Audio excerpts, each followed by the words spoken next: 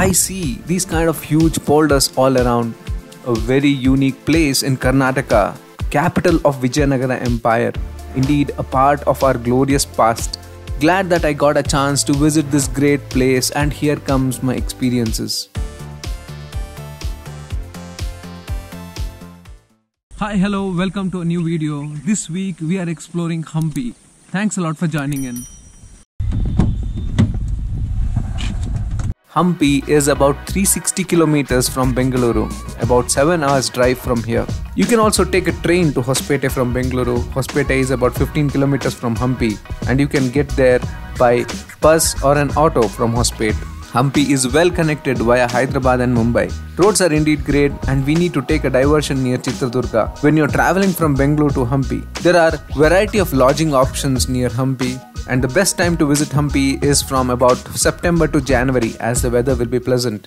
While exploring Hampi, you get to see two kinds of places.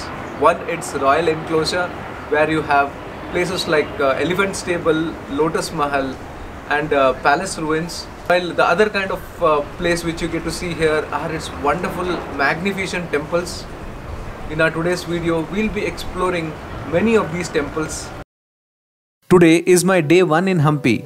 Right now I am on top of Malyavanta hill. Started early with the hope of seeing the sunrise from this hill. Unfortunately, it's cloudy today and hence could not get to see the sunrise. Hampi looks so beautiful during sunrise and sunset. At a distance, I can see a temple. Well, this is Malyavanta Raghunatha Swami temple. This is one of the many ancient temples we get to see here in Hampi. It was constructed around 16th century. This temple is next to a huge boulder This temple is very beautiful and it feels so great being here. Here Ramcharitamanas is recited for 24 hours each day. It's said that Lord Rama and Lakshmana during their search for Sita stayed in this hill for some time. In Hampi, we hear a lot of references to Ramayana. Temple houses idols of Lord Rama, Lakshmana, Sita and Lord Hanuman. Do visit Malyavanta Raghunath Swami temple when you're in Hampi. I plan to have my breakfast and plan to see some of the places early in the day. It tends to get very hot during afternoon here. Right now I am in Hampi's Vijaya temple. We need to park our vehicle at the entrance and need to walk for about 1 kilometer. Vijaya temple is indeed a very popular attraction here in Hampi. Wouldn't be wrong to call this Hampi's one of the most famed temples and on my way I was able to see Utsava Mantapa, Kudre Gombe and Gejjala Mantapa. After covering some distance, now I am in Bazaar area. Whole area which you're seeing here used to be once a horse trading center. It seems this place was a popular horse trading center. These pillars uh, earlier had a roof, uh, but now uh, we don't see it. Uh, but uh, for some of the buildings here, we can still see the roof. I also got a chance to see a small pond on my way to the temple do make a point to visit this. It's indeed very beautiful. We get to see many of such uh, pushkarnis here in Hampi. The mandapa in middle of this pond looks so elegant.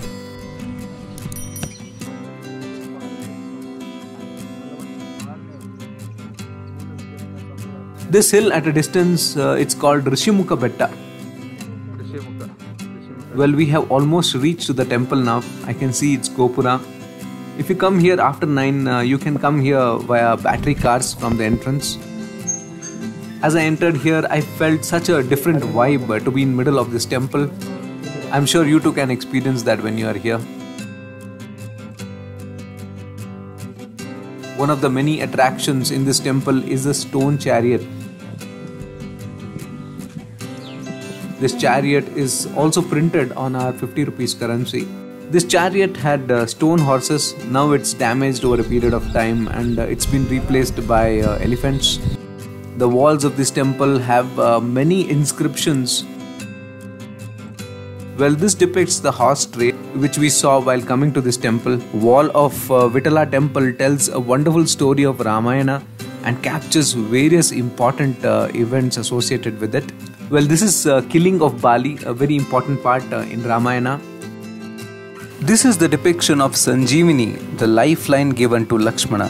Come here and get to live in the times of Ramayana. Indeed, such a enriching experience and feel so great uh, to reconnect with our culture. Vittala temple also houses Natya Mandap.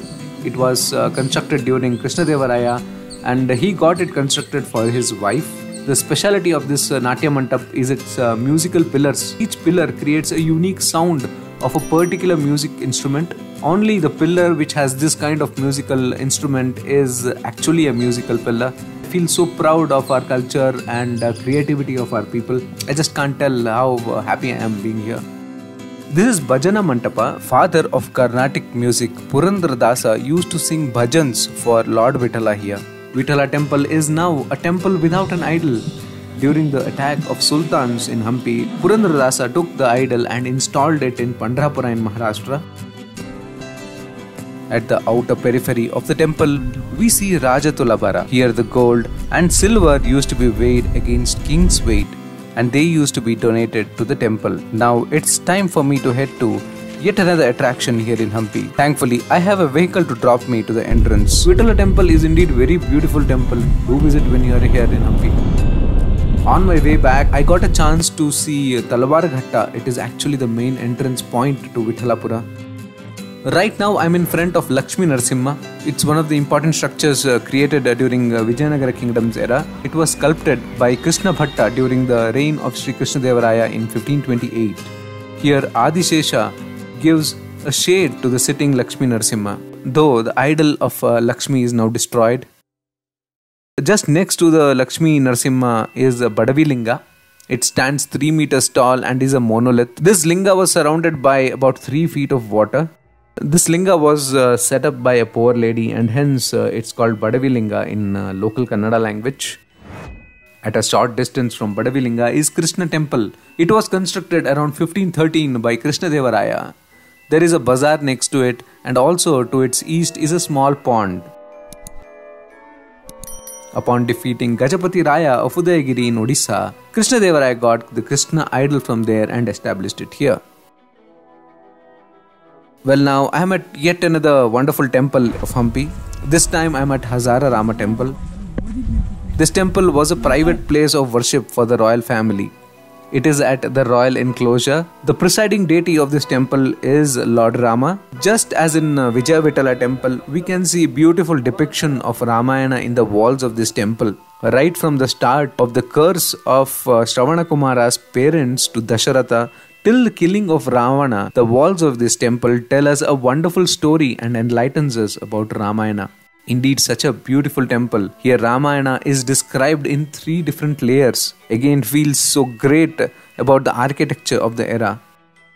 Well, now I am at Sasve Kal Ganesha. Sasve in Kannada means mustard. This is very close to Krishna temple, which we saw earlier. The idol is about 2.5 meters tall and uh, Lord Ganesha here has four hands. A very short distance from Sasvekal Ganesha is Kadalekal Ganesha. This too is carved out of a single stone.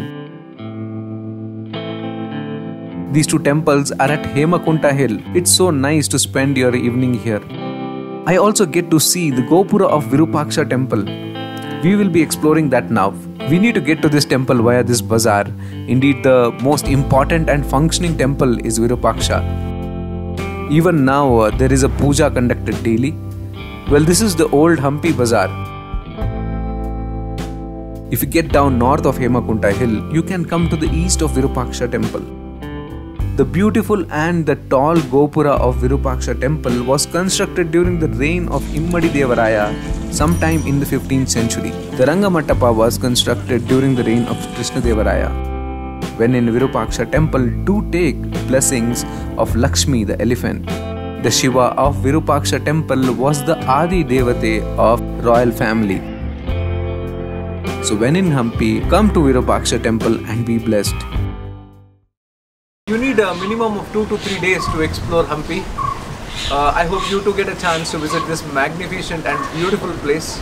If you like my today's video, do hit the like button and consider subscribing my channel. Thank you. In our upcoming video, let's explore the royal enclosure. There is indeed much more to explore in Hampi. Thanks for being part of today's journey.